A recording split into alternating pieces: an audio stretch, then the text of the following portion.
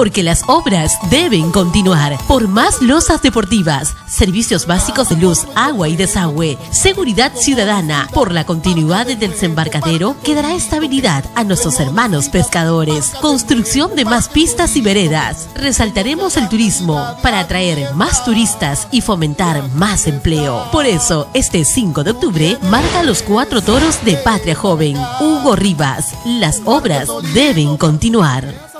पते हैं